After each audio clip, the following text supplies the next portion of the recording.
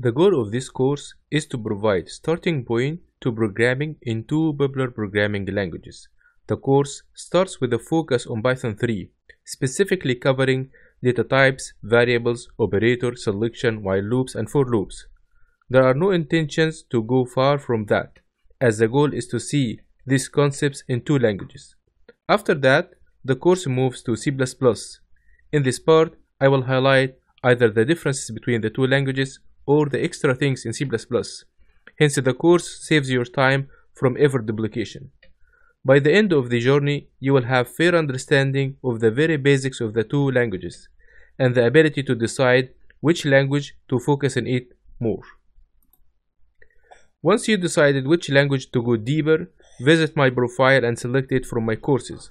My detailed C++ and Python courses are your way to master four skills that differentiate software engineers. Little about me. I am Mustafa. I have been teaching, training, and coaching for many students in computer science and competitive programming, such as IOI and ICPC. During my teaching and software engineering careers, I learned how to be an effective educator, explaining concepts in an easy and practical way.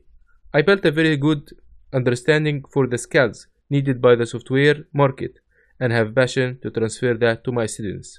For more about me, kindly visit my LinkedIn profile. That's all.